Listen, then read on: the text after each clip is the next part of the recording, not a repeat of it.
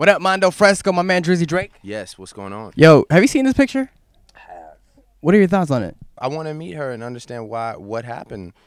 That's cool though. Like I, I feel you hundred percent. That to me is like absolutely incredible. I don't know if you can see it, but this girl tattooed Drake on her forehead. The guy who tatted it is a fucking asshole though. I will tell you that. I don't fuck with that guy. Fuck you to that tat artist, by the way, because you're an asshole for real. And you should lose your job and you should never do tattoos again. I don't fuck with you. And if I ever see you, I'm gonna fuck you up. But real shit though, I really, really like I want to talk to this girl and understand it all, you know?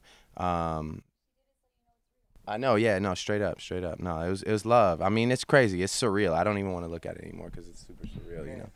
Yeah. Drake. My man, thank you Yeah, so much cool. for everything. Love, man. Thank you.